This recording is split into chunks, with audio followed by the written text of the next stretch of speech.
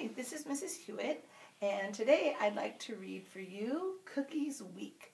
It is written by Cindy Ward and illustrated by Tomie dePaola. This reading today I am going to do with permission from Scholastic.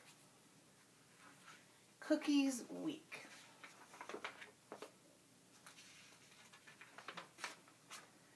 On Monday, Cookie fell in the toilet. There was water everywhere. On Tuesday, Cookie knocked a plant off the windowsill.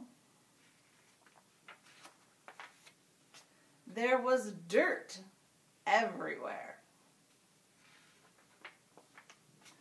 On Wednesday, Cookie upset the trash can. There was garbage everywhere.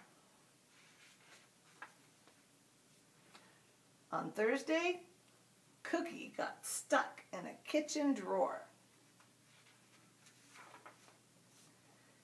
There were pots and pans and dishes everywhere.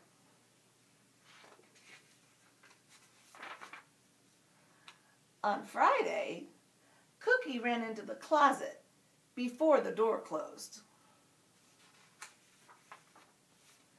There were clothes everywhere. On Saturday, Cookie climbed the curtains. And Cookie went everywhere. Tomorrow is Sunday.